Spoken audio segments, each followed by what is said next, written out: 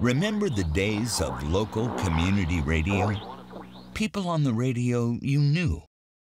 High school football on Friday It's nights. going to be Jackson on the end around. Touchdown! Oh, some nice faking inside. Tom, A swap shop. And good morning. You're on Swap Shop. I have for sale a 1968 Local news and commentary. To the news, here again, Arch Harrison. Back in the summer of 19... All sorts of great music. And even the commercials would capture the flavor of the community. A radio station with personality. A trusted friend.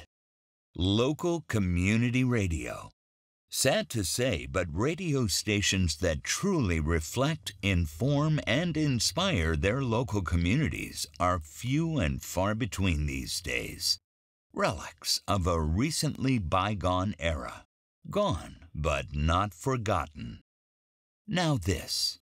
Now, this is a film that allows you to take an up close and personal look at the kind of radio you just don't hear anymore. Now, this. Take a step back in time and experience the golden era of one particular radio station in a small Virginia community. A station that helped to connect not only those who listened, but also those who had the good fortune to have worked at the station.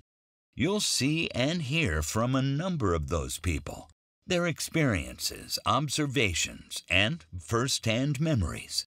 Some quite informative, some quite poignant, and some downright hilarious. Now, this the story of WJMA Radio's first 35 years. The story of a real community radio station. WJMA Radio Orange. Coming this September.